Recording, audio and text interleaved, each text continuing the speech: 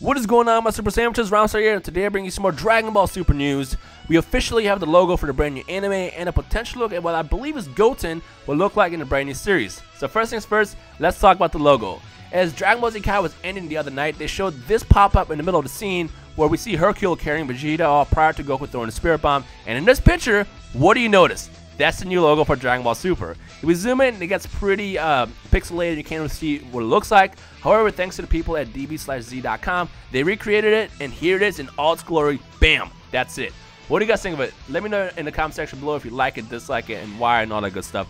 Personally, I really like it just because they kept the uh, original Dragon Ball part of it as a logo, and I believe that's very nostalgic and kind of important to the series. So I like the fact that they kind of kept it old school with it with a new twist of freshness. So personally, thumbs up from me. But what about the rest of you guys? Let me know in the comment section below.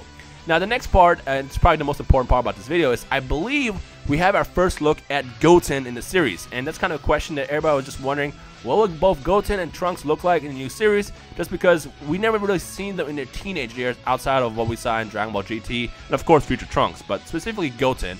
And um, this storyboard was posted on the official Dragon Ball Super Twitter account, which shows Goku in the top, Gohan in the middle, and in the bottom is what I believe to be Goten.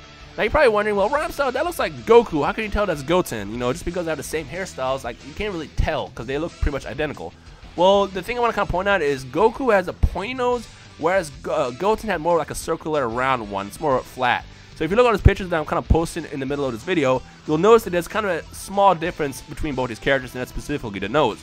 And if you look at the picture that was posted um, in the storyboard, that nose seems more circular and rounder rather than pointy. Because even if you look at the pictures of Goku with him on the side, his nose is more pointy than kind of flat and round. So does that kind of make sense? So in my opinion, I believe that is actually Goten in this picture. And the other thing I want to kind of point out is, uh, as ZZ Toasty said in his video, which I will link in the description below, it seems to be uh, uh, this guy in this picture is wearing a suit. And if you remember, Goten did wear a suit in Battle of Gods, and here it is. This clearly has to be Goten. So the question I'm going to ask you guys is, do you think this is Goten or Goku, and why? And let me know in the comment section below. The other thing I want to point out is uh, uh, Dragon Ball Super should be taking place about three, two to three years after the end of Battle Gods. And it would kind of make sense that Goten would still sort of look like this, rather than what he looked like at the end of Dragon Ball Z, where his hair was more down and it seemed a little bit older. So like, I feel like this is uh, Goten in the middle of his childhood years, at the age of like 15, 16 or so, somewhere around there. Um, so what do you guys think? Do you think this is Goten or Goku? Let me know in the comment section below.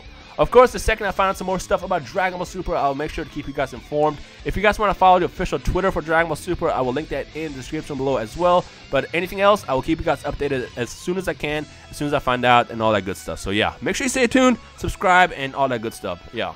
Anyways, uh, don't forget to leave a like rating below if you're hyped for Dragon Ball Super. If you have any questions, comments, or feedback, uh, or theories, or anything, feel free to drop me a comment in the comment section below, and we'll take it from there. As always, you guys enjoy the rest of your day. My name is Rhymestyle, and I'll see you guys in the comment section below. Peace.